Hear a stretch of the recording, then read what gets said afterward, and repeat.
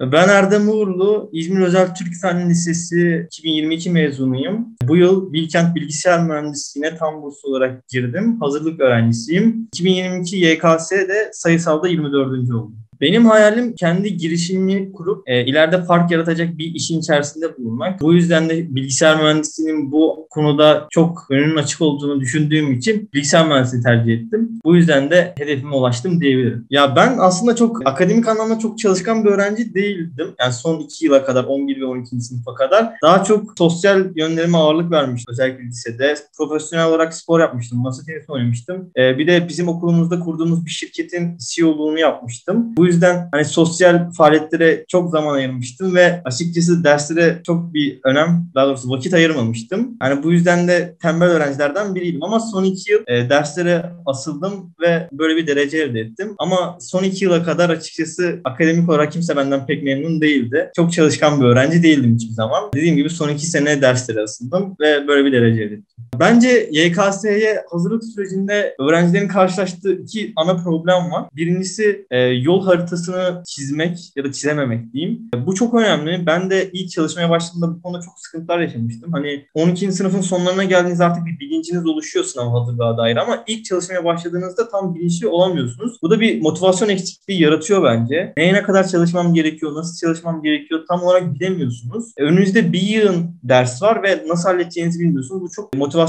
kaybına neden oluyor. Hani bu büyük bir sıkıntı. Bunu aşmak gerekiyor. Diğer bir sıkıntı da psikolojik rahatsızlıklar. Yani psikolojinin zorlanması. Ben çok yaşamadım açıkçası. Hani YKS sürecinde bunu. Yani sınava dair yaşamadım en azından. Ama bence çok da doğal. Yani sonuçta girdiğimiz sınav hani psikoloji gerçekten zorlayan bir sınav açıkçası. Çok sağlıklı bir sınav olduğunu da ben düşünmüyorum. Hani çok kriter alınacak bir sınav olduğunu düşünmüyorum ama sonuçta sistemimiz bu ve e, bu sınava girmek zorundayız. E, bu süreçte de psikolojik sıkıntılar yaşamak bence son derece normal. Ama günün sonunda bu sıkıntıları aşabilenler kazanıyor bence. Ben roundla 11. sınıfta tanıştım. 11. sınıfta özellikle biz e, karantina dönemindeydik. Evden çalışıyorduk. E, uzaktan eğitim vardı. O yüzden konu anlatımlarını vesaire çok dinledim. Bazı videoları konu anlatımlarını 2-3 defa dinledim. Onun dışında Round'un vermiş olduğu test kitaplarından çok soru çözdüm. Ayrıca online deneme sınavlarına da girdim. 12. sınıfta da yine konu anlatımlarına vesaire çok önem verdim Round'un. Fende özellikle. Test kitaplarından da yararlandım ve bizim okulda Round'un e, denemeleri oluyordu. Özellikle AYT denemeleri benim çok işime yaradı diyebilirim. 12. sınıfa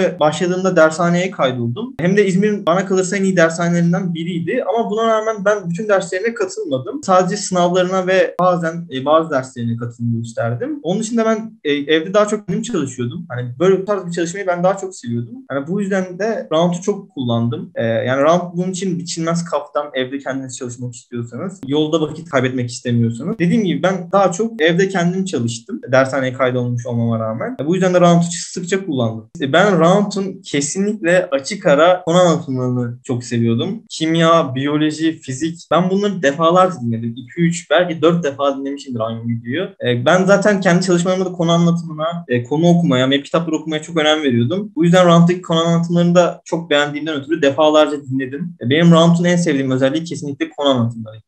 Hocalar da gerçekten çok donanımlı hocalar bence. Aynı zamanda gerçekten çok da iyi anlatıyorlar. ve hani bu bir online sistem olduğu için tekrar tekrar izleme özelliğine de sahipsiniz. Başa alıp izleyebiliyorsunuz, hızlandırıp izleyebiliyorsunuz. Ben genellikle hızlandırıp izliyordum. Hani hızlandırıp izliyordum ama tekrar tekrar izliyordum. Öyle bir çalışma yapıyordum. Hocalar da bence gerçekten çok donanımlı olduklarının hani verdiği bilgiler de gerçekten çok kaliteliydi. Ve ben rounddaki bütün hocalarıma teşekkür etmek istiyorum. Gerçekten sınav hazırlık sürecinde çok faydaları dokundu. Gerek verdikleri bilgiler olsun, gerek anlatma şekilleri olsun gerçekten benim için çok faydalıydı. Evimin içerisindeki bir dershane gibiydi açıkçası. Ben bu yüzden hepsine çok çok teşekkür ediyorum. Hepsine de çok selamlarımı gönderiyorum.